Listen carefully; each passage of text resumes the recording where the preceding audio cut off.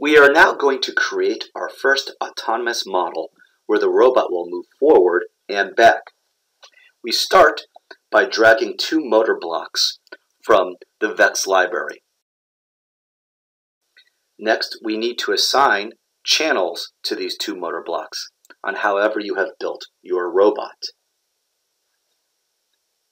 You may want to rename your motor blocks, the left motor and the right motor.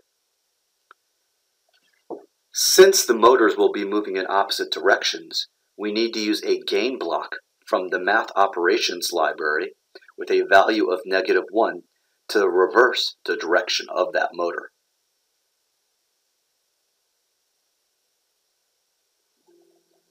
Next, we will drag a Stateflow chart block from the utilities library.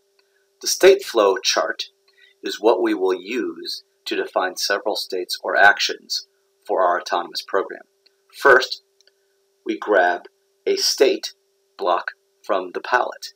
We can make duplicate copies of that state block by right-clicking on the first state block and then dragging. If we hit the space bar, it zooms in. And then by left-clicking on the right edge of each state, we can grab a transition line, which will transition us from the four individual states. We begin with our default transition, where we define our first variable. The variable, which we will call speed, needs to be surrounded by curly brackets, and the statement needs to end in a semicolon. Our first state we will call drive forward. This is just the name of the state. What's important is what happens in the state.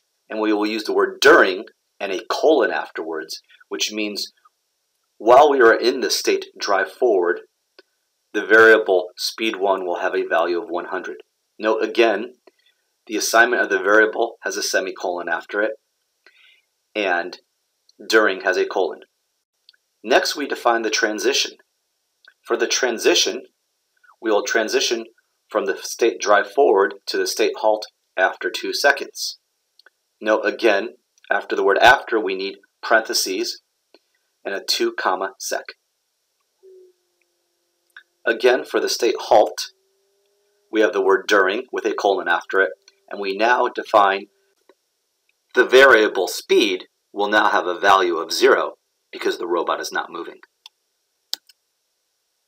After we have defined all our states, we use the keystroke Control D to define all our variables, and we can see that the variable speed1 is an output variable. Now we will go up one level to the Simulink diagram and draw signal lines from our Stateflow chart to our motor blocks.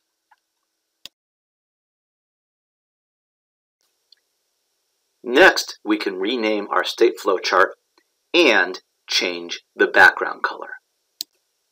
Finally, if we deploy our model to our robot, we can see our robot moving forward and